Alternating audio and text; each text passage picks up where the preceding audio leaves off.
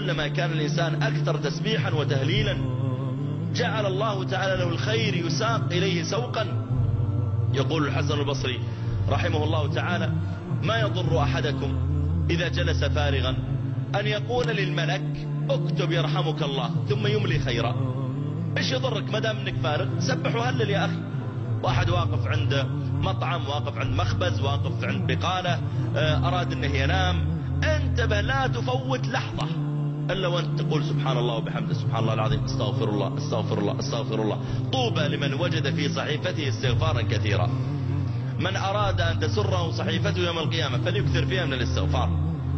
ويقول الحسن البصري رحمه